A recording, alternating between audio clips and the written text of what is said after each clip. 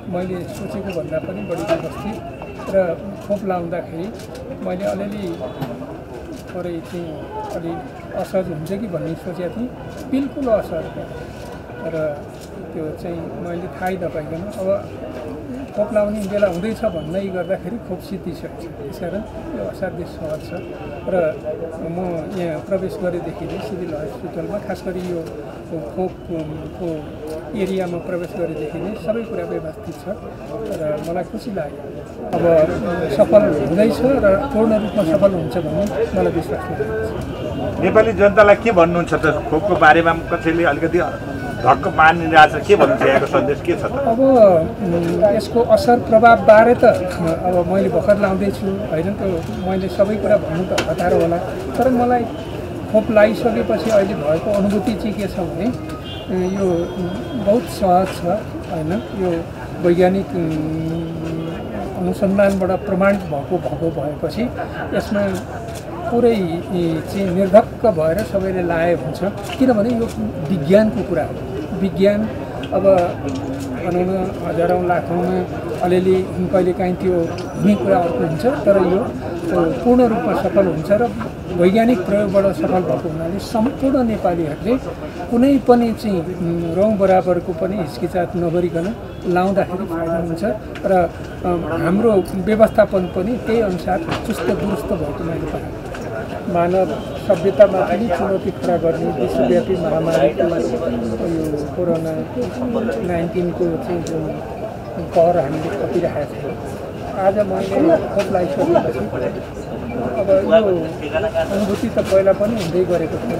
आज चाहिँ अब यसमाथि पूर्ण विजय हासिल गर्न सकिन्छ भन्ने विश्वास पैदा हुनुपर्छ यो खोप लगाइसकेपछि मलाई अहिले यहाँ बस्दा बस्दै त्यो अनुभूति भएको छ जहाँसम्म आजको खोपको कुरा छ आजको खोपको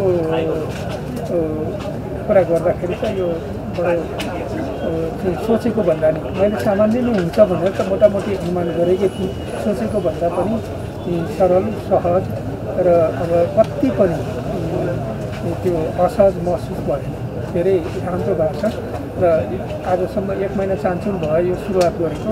धेरै अभ्यस्त पनि हुनुभएको छ खोप लाउने लाउने चिकित्सकहरू त्यो क्षेत्रमा खटेकाहरू यस अर्थमा अब यो अभियान पूर्ण रूपमा सफल हुन्छ र विश्वव्यापी रूपमै हामीले कोरोनामाथि विजय प्राप्त गर्छौँ भन्ने अनुभूति भएको छ गहिरो यो अब कतिपयलाई यो खोप लगाइसकेपछि जुन किसिमको रियाक्सनहरू भइरहेको छ होइन? जिउहरू दुख्ने ज्वरोहरू आउने यो किसिमको समस्याले गर्दाखेरि धेरै मान्छेहरू लगाउनको लागि दुविधामा पनि भइराख्नु भएकोमा सभामुखज्यूले आज यो संसद सुरु गर्नुभन्दा अगाडिको यो अहिलेको अवस्थामा नै सुरुमा नै लगाउँदाखेरि सबैलाई नै यो किसिमको त प्रेरणा त होला। आफूलाई चाहिँ त्यसले कस्तो खालको महसुस गरायो सभामुखज्यूलाई अहिले नै के पनि भएन अर्थात् यसको असर प्रभाव देखिएन भनेर भन्नु त अलि हतारो होला।